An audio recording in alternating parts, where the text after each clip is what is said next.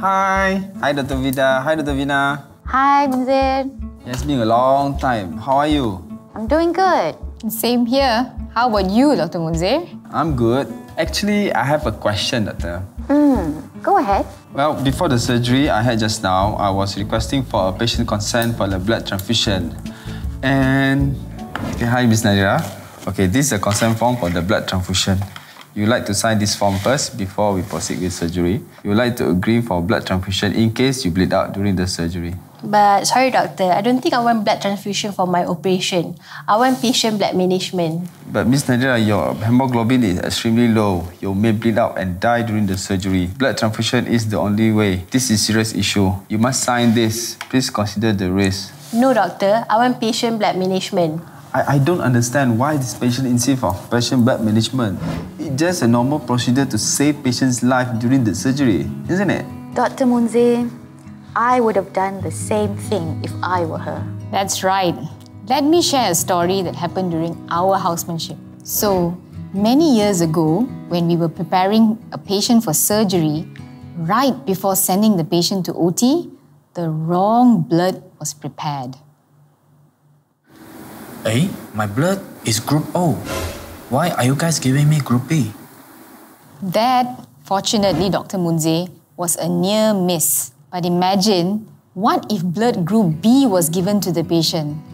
Gosh, I don't even want to imagine. Not only that, do you know there are many other dangers to blood transfusion? Oh, really, Dr. Rida? I do not know that. So, what is the biggest risk of blood transfusion? Oh gosh.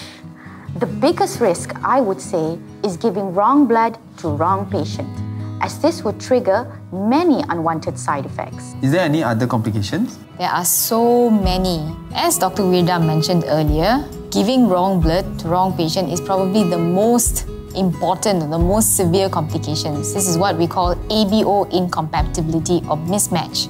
So patients can have acute hemolysis, kidney failure, acute respiratory distress syndrome, and even succumb to this ABO incompatibility. Next, there's allergic reactions. Patients can get acute febrile reactions, which is fever, rash, itchiness. They can also suffer from anaphylactic reactions whereby the blood pressure can drop, they require adrenaline, and the list goes on. For this is followed by transfusion-related infections. You know, we have hepatitis B, C, and you know, of course, we have NAT testing. Having said that, there are new infections these days, the new HIV strain, COVID-19, and so on and so forth. What do you think, Dr. Virda? Oh yes, Dr. Rina. There is also TRALI and TACO. TRALI is transfusion-related acute lung injury. It is one of the major causes of death, where antibodies attack the small blood vessels in the lungs. While TACO, on the other hand, is transfusion-associated cardiac overload. This happens when patients develop acute heart failure due to fluid overload. We also have alloimmunization. Have you heard of alloimmunization, Dr. Munzir? Mm, no, I have not.